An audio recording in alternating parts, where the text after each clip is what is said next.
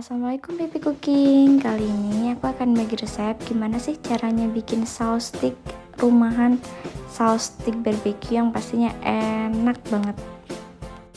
Lebih tepatnya sih ini kita olah sausnya agar lebih enak aja ya teman-teman. Jadi bukan bikin tapi kita olah ulang biar sausnya lebih enak.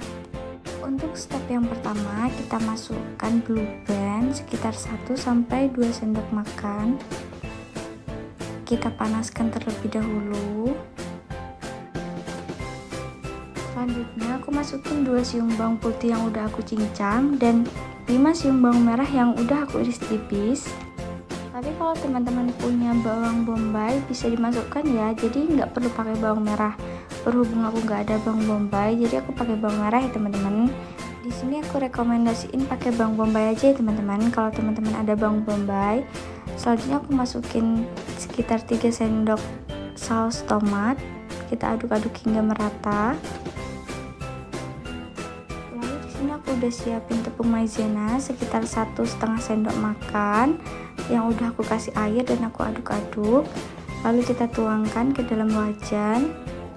Kita aduk-aduk lagi hingga semua merata.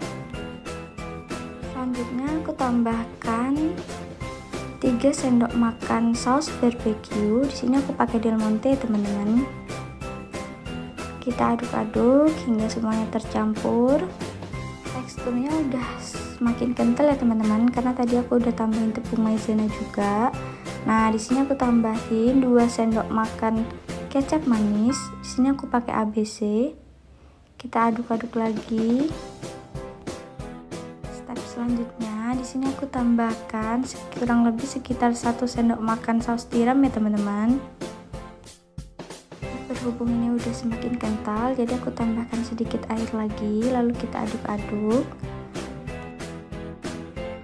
Kemudian aku tambahkan sedikit garam. Tambahkan sedikit merica bubuk.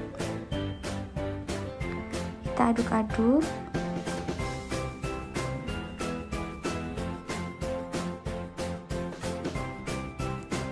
lalu aku tambahkan sedikit gula pasir. Kita aduk-aduk lagi.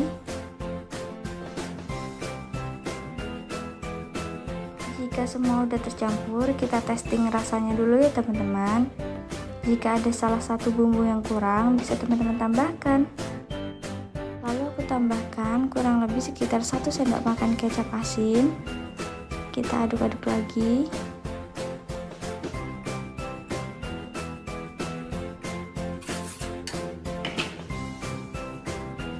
kalau rasa dan kekentalannya udah pas saus stick bisa kita hidangkan ya teman-teman. Dijamin ini saus nggak kalah sama stick-stick yang ada di resto-resto ya teman-teman. Tada saus stick siap kita hidangkan.